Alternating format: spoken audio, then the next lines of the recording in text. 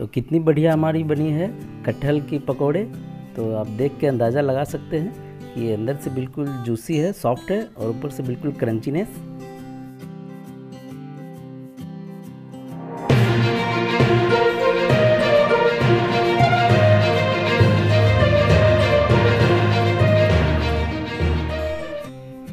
इस रेसिपी के लिए हमने उबले हुए कटहल लिए हैं, लगभग 10 से 12 पीसेस हमने लिए हैं। ये लगभग वेट में 150 से 200 ग्राम के आसपास है।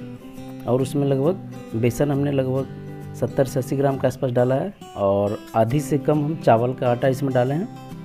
उसके बाद फिर नमक, स्वाद अनुसार डालेंगे। हल्दी, आधी चम्मच धनिया और गरम मसाला और ये लाल मिर्च पाउडर।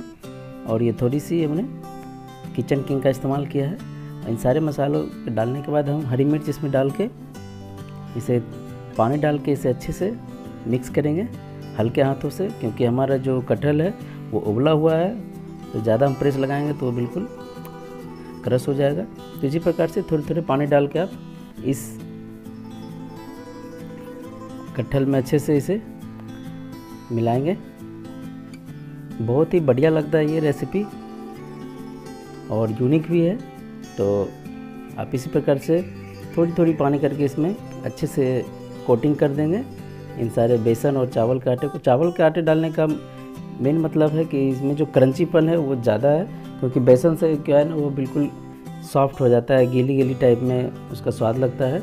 और ये जो है, चावल के आटे मिलाने से उसमें थोड़ी सी क्रंचीनेस आ जाती है। तो अब हम एक फ्राई पैन लेंगे और उसे बारी बारी से हम इस प्रकार से अलग अलग करके एक एक डालेंगे आप चाहे तो बहुत ही ज़्यादा तेल डाल के इसे फ्राई कर सकते हैं, बिल्कुल तेल में डुबो के।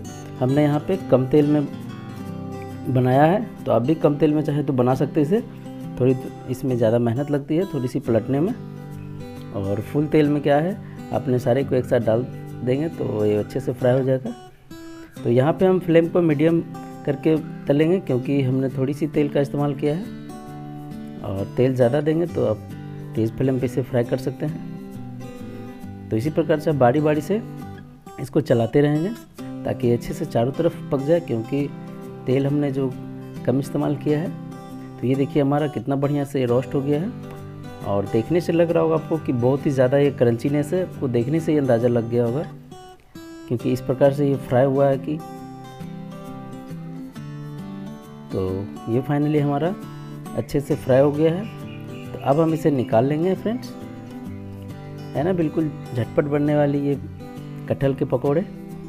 तो हम इसी प्रकार से बारी बारी से इसे निकाल लेंगे।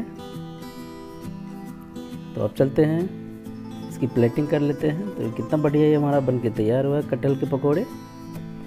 तो अब हम इसे काट के दिखाएँगे आपको कि ये कितना बढ़िया है। इसका जो टेक्सचर है, अंदर से ये बिल्कुल सॉफ्ट है। इस कटहल के पकोड़े की रेसिपी फ्रेंड्स आप अपने घर पे इस प्रकार से ज़रूर बनाएँ। तो ये देखिए, कितना बढ़िया ये हमारा बन के तैयार हुआ है कटहल के पकोड़े। ये देखिए, अंदर से बिल्कुल सॉफ्ट है ना, और ऊपर से बिल्कुल जो क्रंचीनेस वाली फीलिंग आती है, वो चावल के आटे और बेसन से हमने बनाया है।